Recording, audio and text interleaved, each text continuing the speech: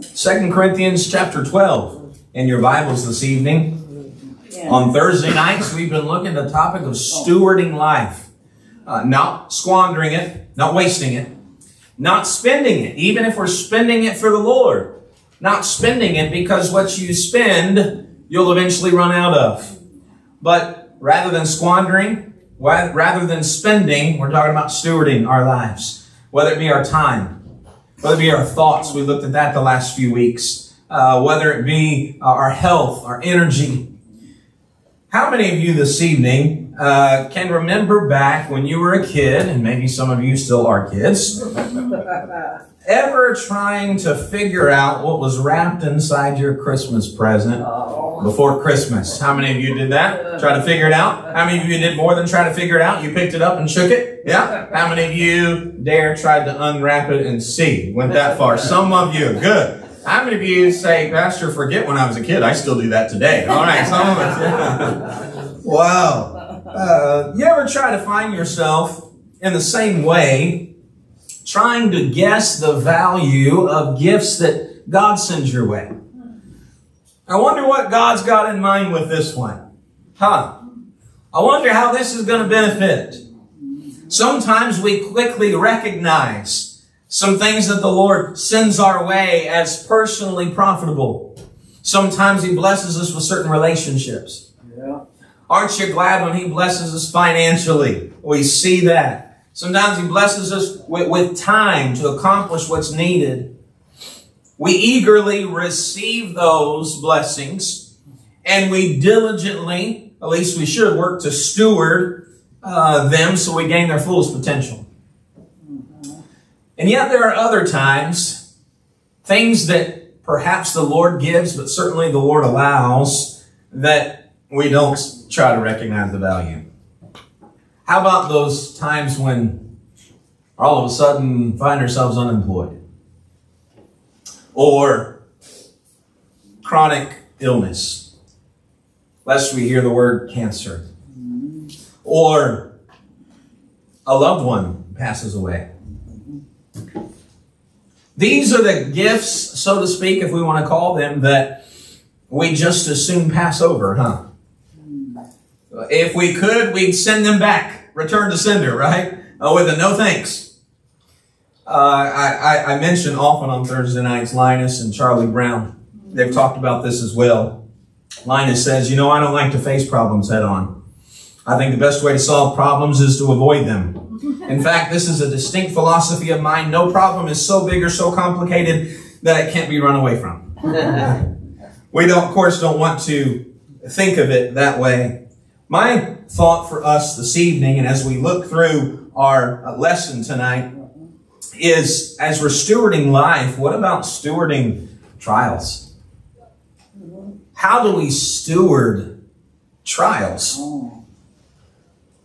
In fact, I'm going to need a couple volunteers this evening. You don't have to, don't worry, you won't have to sing, you won't have to uh, act, you won't even have to speak. You'll just have to choose. How many want to help me with something to say? Did you notice? Anybody notice we got gifts right down here? Yeah. Okay, you have noticed. We're not decorating for Christmas, okay? Heaven forbid there's Thanksgiving. Those of you that already listen to Christmas music, that's a whole nother message. Uh, we're not going there yet. Uh, but I've got some gifts you all can choose. They're, they're labeled as well. Who wants to be first? Come choose a gift. Uh, let's see here. Okay, Peter, come on. Hey, this is fitting. Good. He had his birthday last week. Good. Someone else. We're going to need a few. How about anyone? Miss Deborah? Okay. Choose, choose any of these. You can choose, but don't open them. Just pick one up and show me which one you, oh, that's what I thought he was going to go for. Tell everybody what you chose. New car. New car for Peter. Good. Good. Why don't you uh, take that with you? Don't just don't come up. I mean, don't open it yet. All righty. Oh, oh wait a.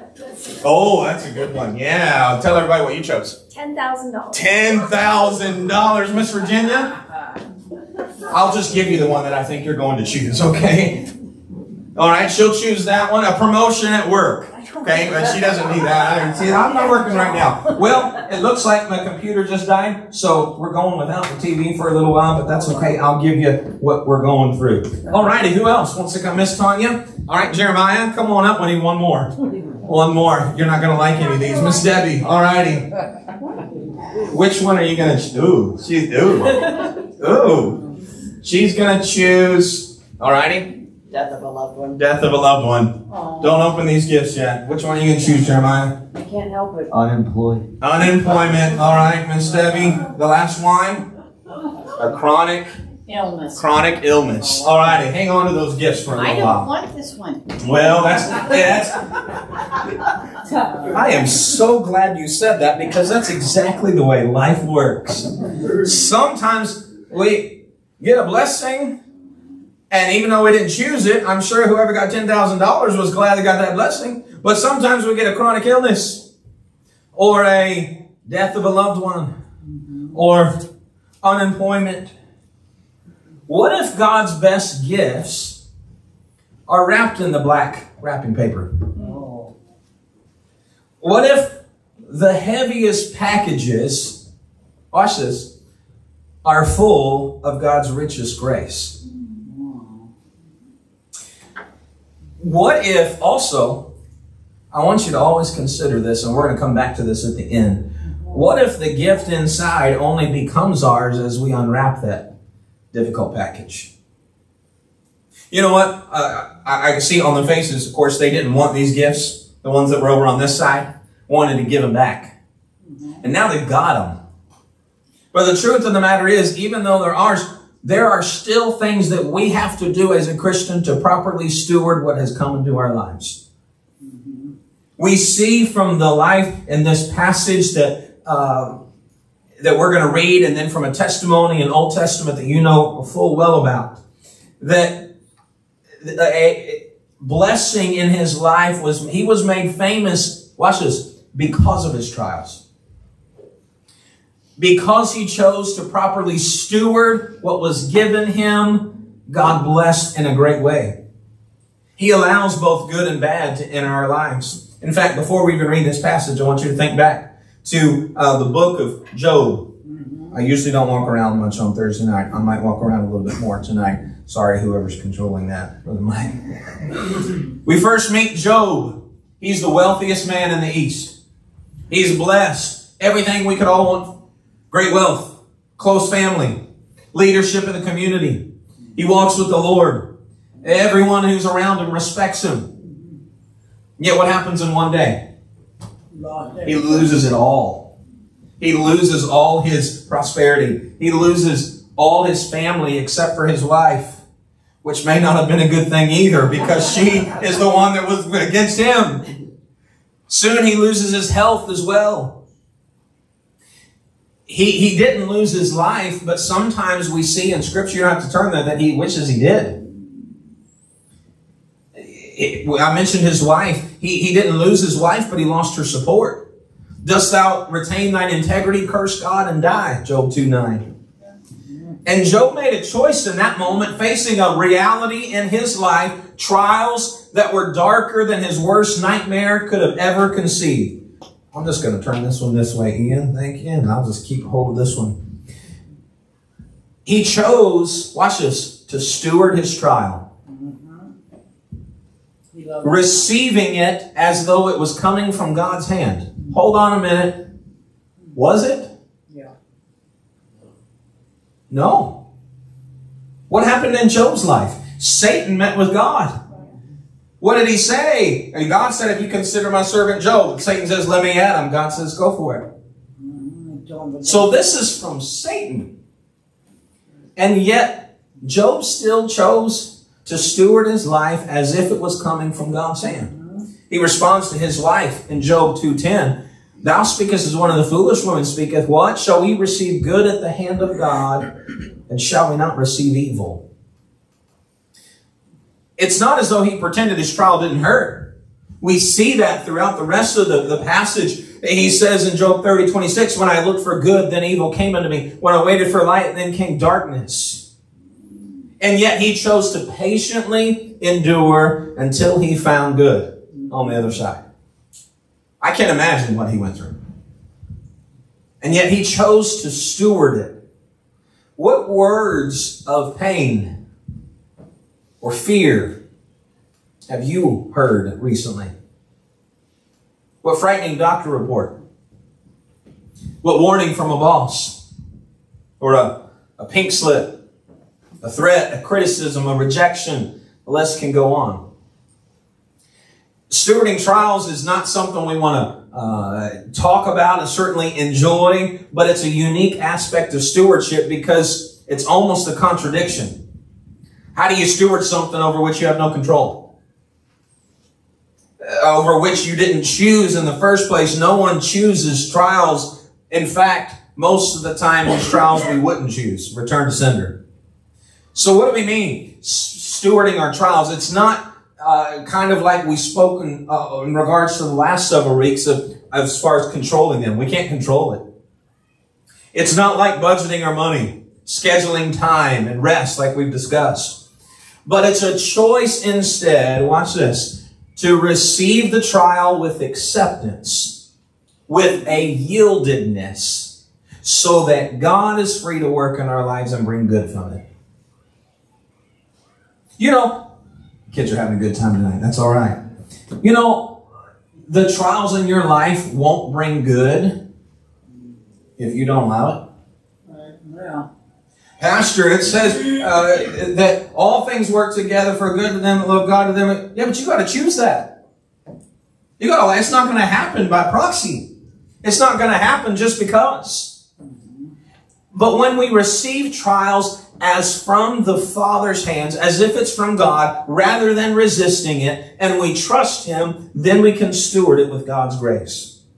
He works miraculously, growing us, blessing us, but especially in three certain areas. We're only going to get through one tonight. As I was going through this, I didn't even know if we'd get through one. I don't want to rush through it all, so we're going to split it up a little bit because we need to understand this. Our first uh, thought in stewarding trials and the blessing that comes from it, number one in your notes there is humility.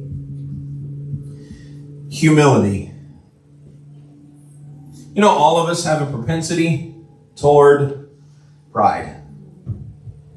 Got to take care of number one. Got to make sure everybody notices me. That's our natural human response. We want to be greater and greater and others to recognize our greatness. We haven't looked at our passage yet, so let's do that. In 2 Corinthians 12, we have a Christian in the first century who had any and every reason to boast. This was Paul. But if there's ever a reason that Paul had to boast, we're going to find it in this passage.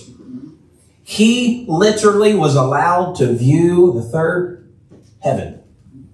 Watch it, verse number one. It's not expedient for me, doubtless, to glory. I'll come to visions and revelations of the Lord. Notice verse two. I knew a man, we're going to talk about this in a minute. He speaks of himself in the third person. He's speaking of himself here. In Christ about 14 years ago, whether in the body I cannot tell, or whether out of the body I cannot tell, God knoweth. Such an one caught up to the third heaven.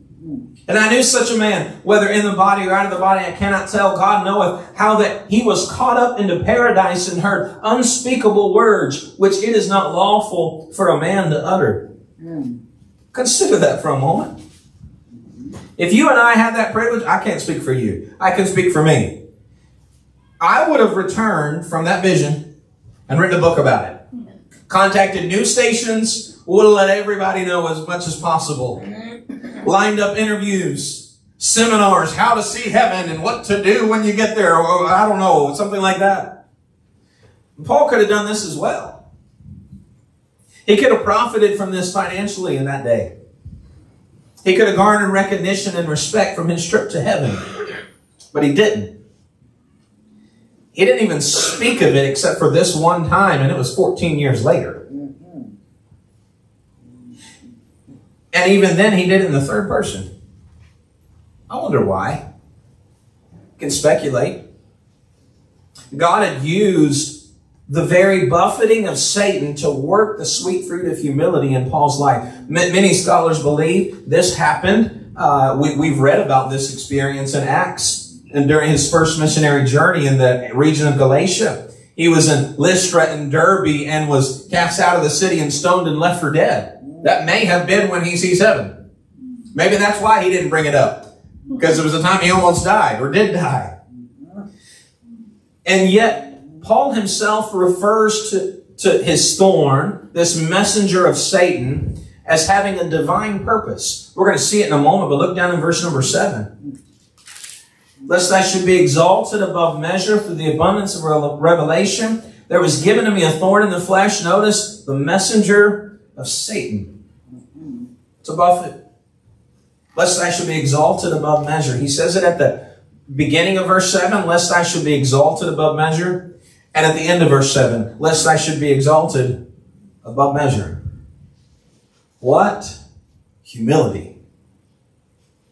That Paul recognizes, look, there's something that's happened in my life and it's not for me to brag about. In fact, difficulty came as a result of it. You and I can fake humility, but we can never manufacture it.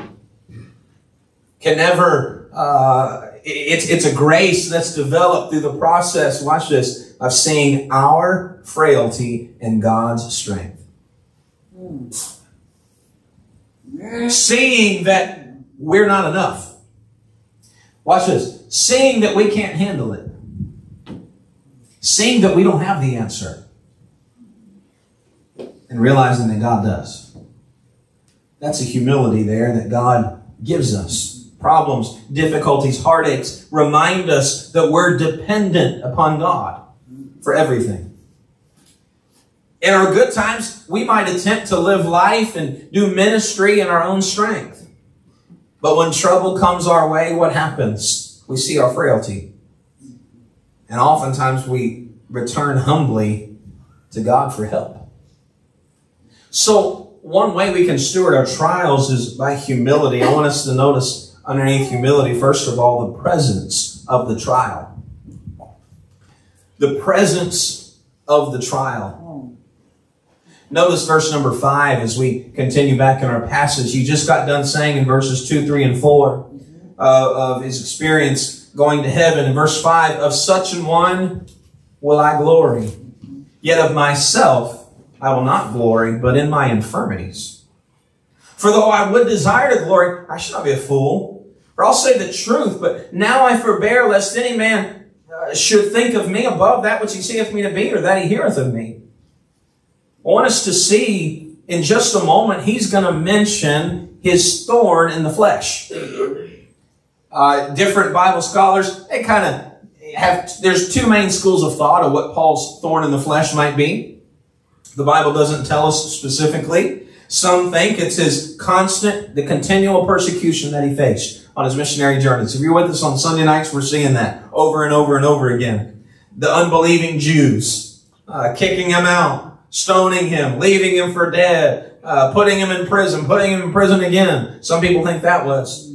Other people, uh, myself included on this one, think Paul is speaking of an incurable eye disease that he had hindered his effectiveness in ministry. Uh, there are different passages, especially in Galatians. Uh, he tells the, the church of Galatia, I bear you record that if it had been possible, you would have plucked out your own eyes and given them to me. That's perhaps he, maybe his infirmity in the flesh. Those Christians in Galatia loved him so much that perhaps they would have been willing to meet the greatest need of his life, which seemed to be healthy eyes. But whatever it was, persecution, a physical difficulty. It was an unrelenting reality, a constant and painful burden in Paul's life. The presence of the trial was there. And to Paul, it felt confining. To the point he believed he could minister better without this thorn in the flesh. And we see this in our passage. Three times he urgently pleads with the Lord to take it from him. We read verse 7. There was a thorn in the flesh given me. Look in verse 8. For this thing I besought the Lord thrice that it might depart from me. A severe trial bringing real and constant pain. May I ask you, you have a thorn? Something in your life constantly bothers, hinders you? something so real you can't ignore it or overcome it. We see the presence of the trial leads us, second of all, to the purpose of the trial. There in your notes. the purpose of the trial.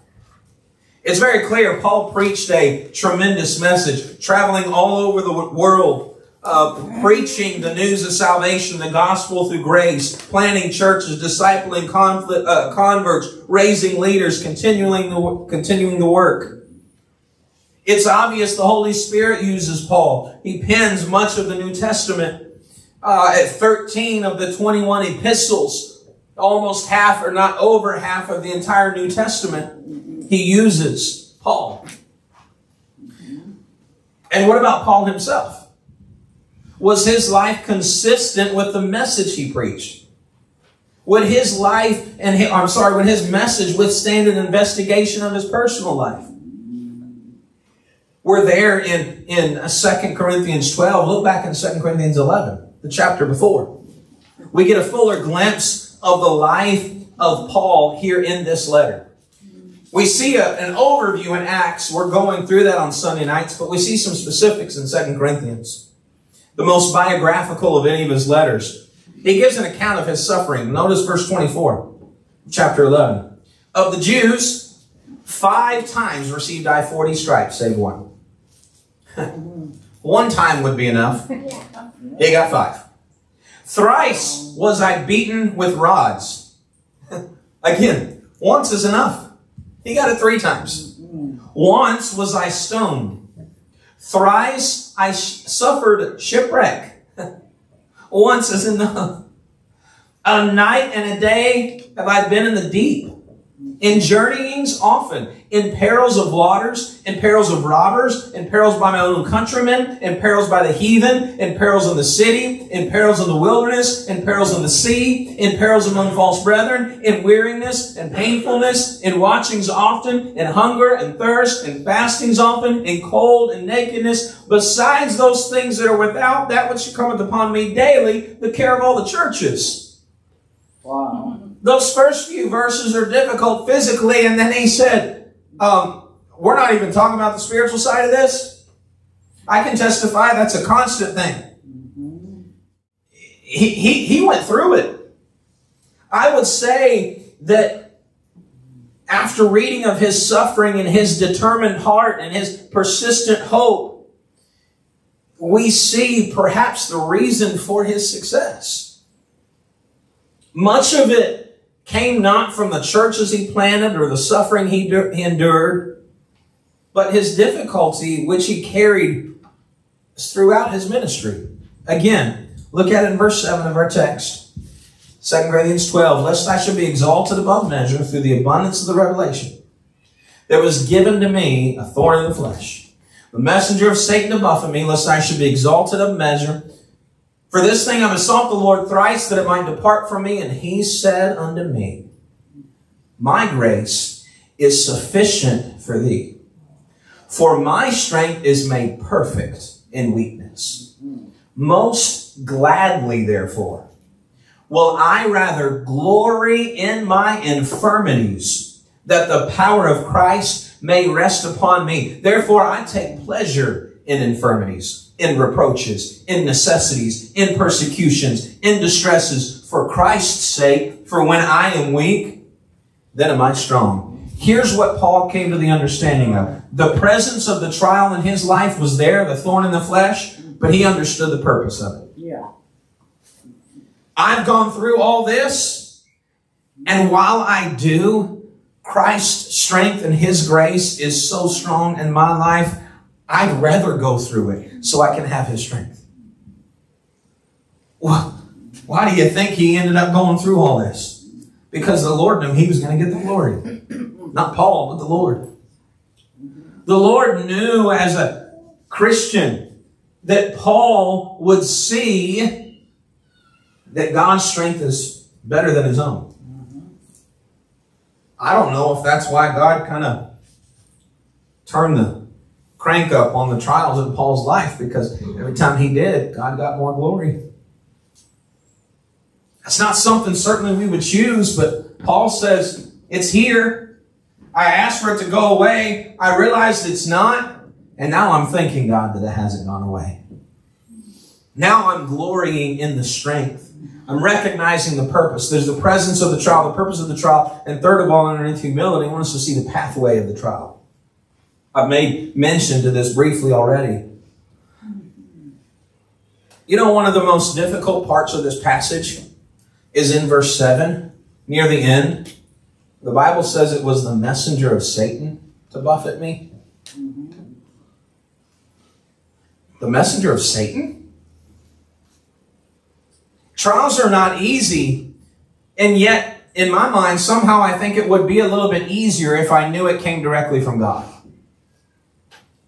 I know He loves me, so He's given this to me because I can accept that a little bit more. But Paul somehow knew that his thorn came from Satan. Job's thorns came from Satan. It didn't come from God. It was the messenger of Satan, and he uses the word to buffet me. That's not a word we use often. When we use it, it's for a buffet to eat, right? But this is the word buffet here. What does that mean? It means to strike with a fist, to give one blow, one a blow.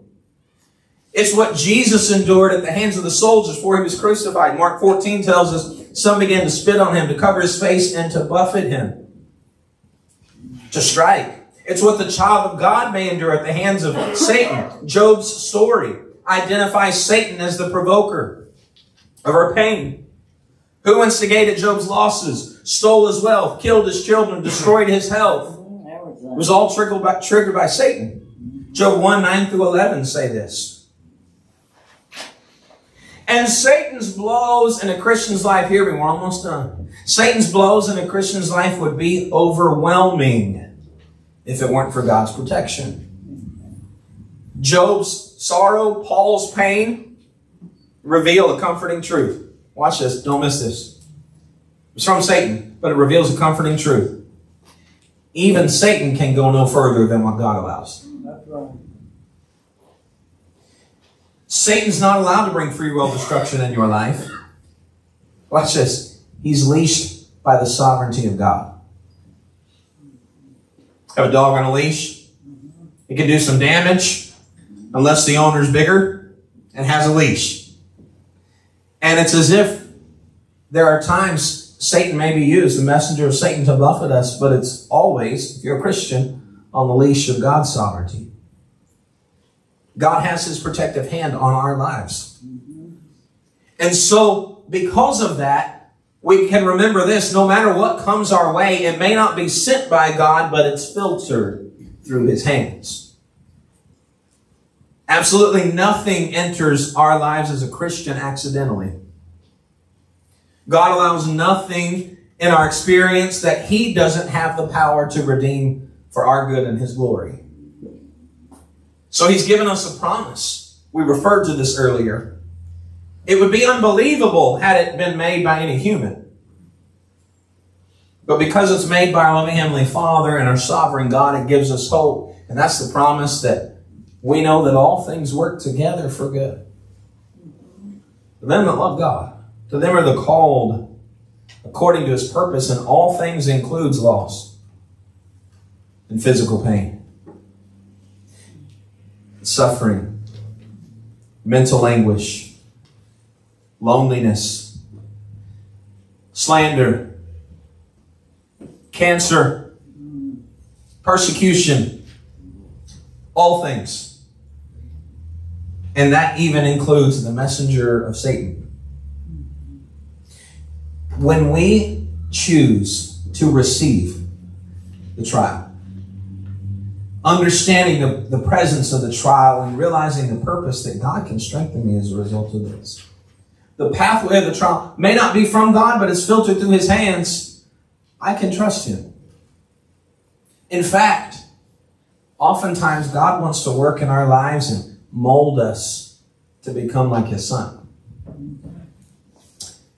We don't understand His ways. By the way, don't try to figure out what that package is for.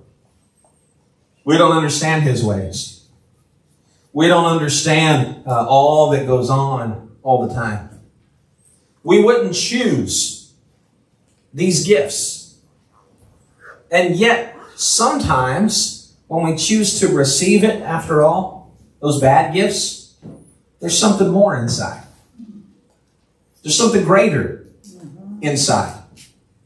There's, uh, how about the, uh, let's choose one. Who had the chronic uh, illness?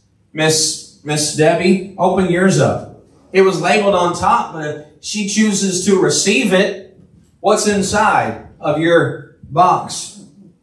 Ability. Ability. Jeremiah, which one did you have? Humility. What What was your uh, top of the box? Wait a minute. He already opened it. Uh oh. what was it? Unemployment. Unemployment, we receive that, which used to see it's from God, and we learn Humility. humility. Ability. Miss Tanya, you had the other one, the death of a loved one, and we open that, and God can give Stability. stability. Those are the next two next week. We looked at humility tonight. God can also give us and will give us stability, strength, ability to go through what's there. But only, hear me, we're done. Only if we choose to receive it. Steward of trials. That doesn't mean control it. It means what God has allowed to come into our lives. I'm not going to get bitter. I'm not going to get angry. I'm not going to say, look at this heavy load you've given me to carry. Instead, I'm going to open it up and receive it. See what God has for me as a result of it. My grace is sufficient for thee. My strength is made perfect in weakness. Let's bow our heads and close our eyes this evening. Thank you for listening.